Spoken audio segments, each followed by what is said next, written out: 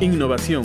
Es un cambio que introduce novedades y que se refiere a modificar elementos ya existentes con el fin de mejorarlos, aunque también es posible en la implementación de elementos totalmente nuevos. En ese sentido, resulta importante desarrollar la asignatura Ecosistema de Innovación, la asignatura corresponde al área de estudios de especialidad electiva, es de naturaleza teórico-práctica. Tiene como propósito desarrollar en el estudiante la capacidad de distinguir e identificar los factores claves para el desarrollo de la innovación, basado en el desarrollo tecnológico y los nuevos enfoques de negocio.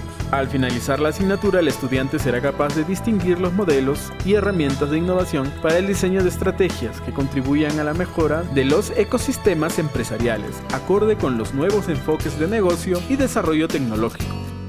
Te damos la bienvenida a esta asignatura, esperamos colmar tus expectativas y ten por seguro que te ayudaremos a resolver tus dudas e inquietudes.